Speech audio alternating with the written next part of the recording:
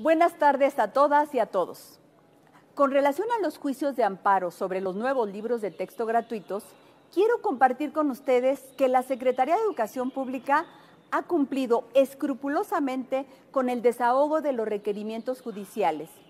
y, en observancia al principio de legalidad, les informo que estamos en tiempo, en forma y en condiciones de publicar los programas de estudio definitivos que constituyeron la base para la elaboración de los nuevos libros.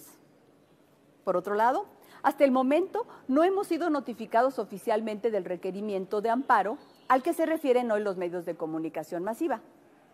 En cuanto esto suceda, se implementará el mecanismo legal correspondiente para atender dicha notificación. Esta Secretaría ha sido respetuosa de cada acuerdo judicial de los que ha sido notificada